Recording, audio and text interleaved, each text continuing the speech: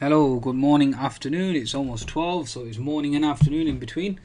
Uh, it's Adil uh, Fazal, market analyst at CFDs.com, bringing you a review of the European markets midday, uh, midday afternoon, or mid mid afternoon.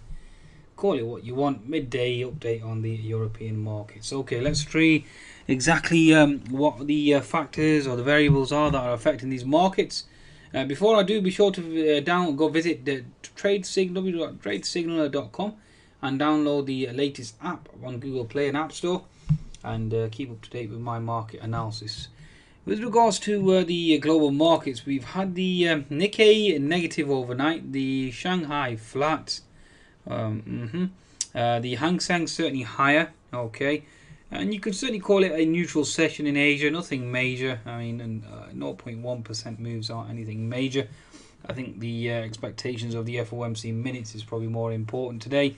And obviously, we have two Fed uh, speakers on tap as well, and that certainly will be dictating sentiment and momentum in the uh, the marketplace itself. In terms of the European markets thus far, the FTSE is certainly stronger on the back of uh, a potential Shire takeover. I think that's the uh, main culprit for the rally, and obviously the oil price as well, with the oil inventories data yesterday or last night, certainly helping the price of oil uh, to accelerate up to the uh, $36 level, $37 level. So certainly a bullish uh, perspective there for the FTSE 100. So the oil price is certainly helping the FTSE to a large extent. Also with regards to H&M, uh, certainly uh, earnings better than expected, uh, given the outlook was certainly expected to be dire. In terms of the German data, we've had two pieces of information from Germany uh, industrial production and the Markit PMI, I think, if I can recollect correctly. Let me just uh, uh, confirm that. going back to my timeline. Okay, in terms of Germany, Germany industrial production uh, comes in at minus 0.5% versus the minus 1.8% expected. So certainly stronger than expected. Okay, certainly stronger than expected. And then we subsequently had a another piece of information from Germany as well. If I can just go back see if I can retrace. See if I can locate this.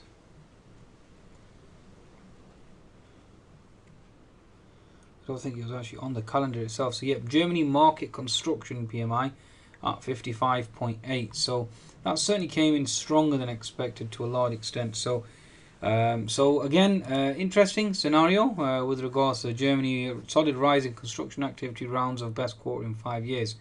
So certainly helping the uh, the German DAX potentially stabilize. And again, I'm going to discuss that.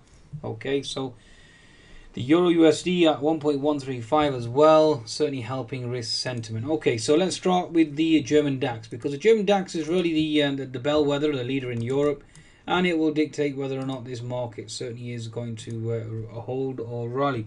Now you clearly see here in the daily chart, we've actually closed the gap now.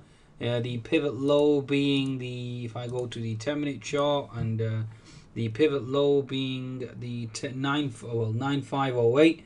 And we are now looking to play out this uh, inverted head and shoulders formation. So you currently uh, have, uh, bear with me. Let me just exit out Skype. Okay, so so you currently have the right shoulder forming, okay, on the German DAX, looking to potentially reverse. The 60 minute chart has a bottoming tail, you can clearly see here, at gap fill support, so therefore looking for a potential bounce and a rally in the uh, in the European markets. Okay, so the German DAX is certainly indicating a rally, and that's exactly what I'm expecting at this uh, current juncture. Okay, bring up the EU markets. Okie dokie.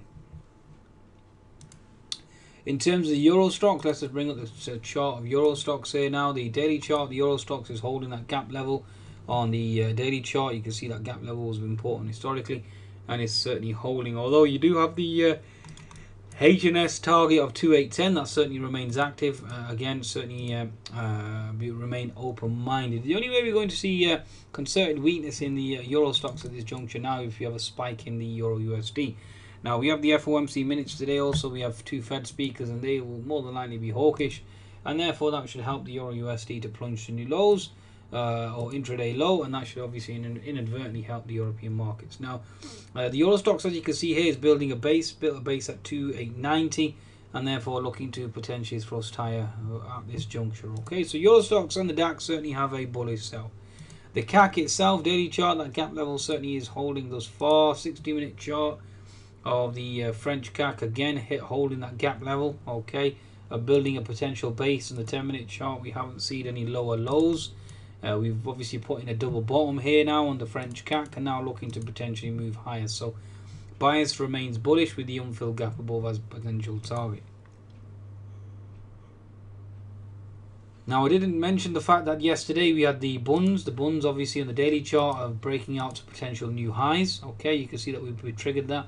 We're consolidating now early on, on in a day like today and then looking to potentially thrust higher. Now we are into gap fill support on the bunds and therefore that obviously is bullish given the fact that bunds move higher.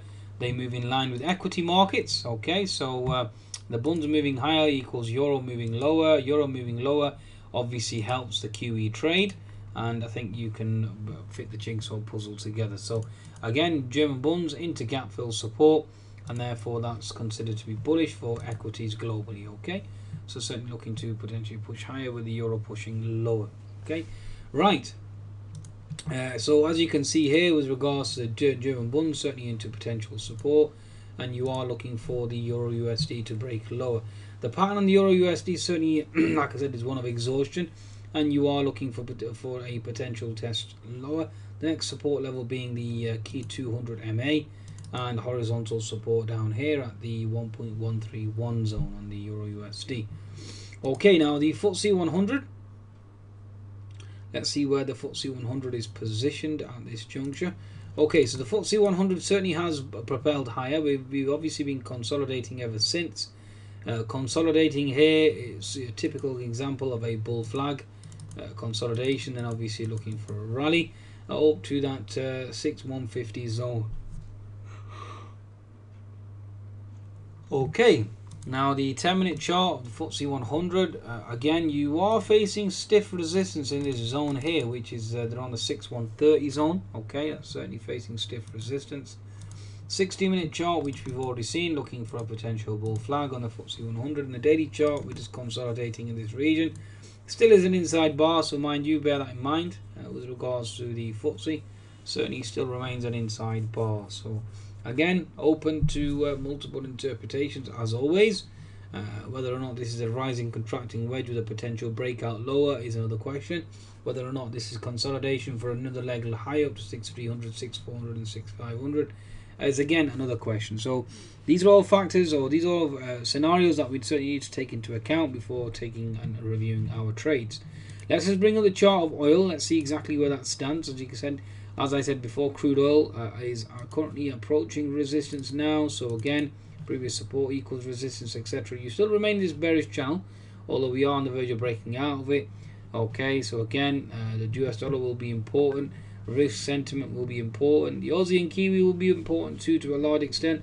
But nevertheless, uh, in terms of the economic data now for the remainder of the day, uh, the mortgage applications actually just came out stronger, so that's certainly helped the dollar to a large part. You have EI, EI, crude oil stock exchange, FOMC Mester speech. You have FOMC minutes, and then FOMC Fed Fed's Bullard speaking as well. So as you can see here, uh, a lot of variables, a lot of volatility expected going forward. Uh, having said that though, Euro USD is certainly remaining bearish. The, the uh, German bonds certainly look like they want to break out. Therefore, thereby setting the yield lower, thereby setting the euro lower, and that should obviously inflate European equities. Okay. Uh, given the fact that German data this morning hasn't been as, as worse as expected, certainly has come in slightly to the uh, the upside, uh, but actually better than expected, and that in it of itself should certainly help the um, the actual uh, trade in the Euro USD, and obviously given the fact that they are obviously supported by QE as well. Okay, I think that's a market wrap. Be sure to visit cfds.com for your trading needs. Uh, okay, you can visit them at www.cfds.com and certainly applying for that uh, very healthy, generous uh, account opening offer. Goodbye now.